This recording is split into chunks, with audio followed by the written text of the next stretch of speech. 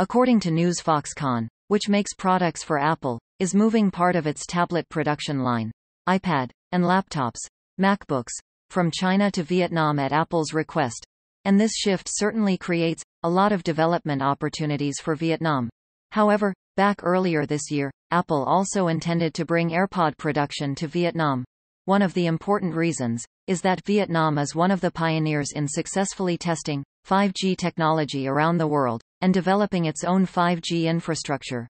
This creates good conditions for Apple to apply new technology in production. According to a source from the economic news agency Bloomberg confirmed, Apple's partners have increased iPhone production capacity in India, and AirPod assemblers, added a number of assembly lines in Vietnam, with an investment new investment as 270 million United States dollars into Vietnam. In addition, Taiwan-based companies such as Foxconn, are also looking to move production out of China and to Vietnam, Mexico and India to hedge against geopolitical risks. Some AirPods have been manufactured in Vietnam. In 2021, the third generation of AirPods is expected to also be produced in Vietnam.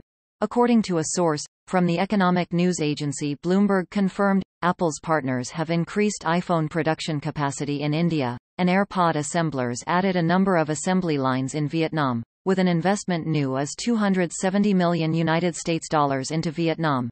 In addition, Taiwan-based companies such as Foxconn are also looking to move production out of China and to Vietnam, Mexico and India to hedge against geopolitical risks. Some AirPods have been manufactured in Vietnam.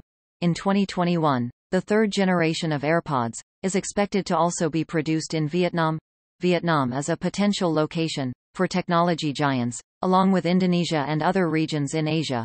With easy market access, fast and flexible delivery for customers, Vietnam offers investors the best opportunity to shorten the road to customers and suppliers in the East South Asia. China is currently pouring billions of dollars into the MAD.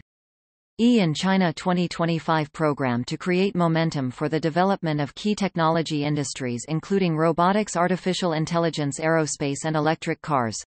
5G Internet technology China is currently pouring billions of dollars into the Made in China 2025 program to create momentum for the development of key technology industries including robotics artificial intelligence aerospace and electric cars. 5G Internet technology These companies have government protection and monopoly in the Chinese market and represent the Chinese government in the technology race. In contrast American companies are private companies must take into account the problem of profit and competition before entering this technology race However China's excessive dependence on foreign core technologies is a weakness that China and the United States have exploited here for example bans on the export of U.S. technology equipment to Huawei will help restrain Chinese companies and the economy in this race in the past four years the U.S. has increased tariffs on electronic products made in China as well as limited the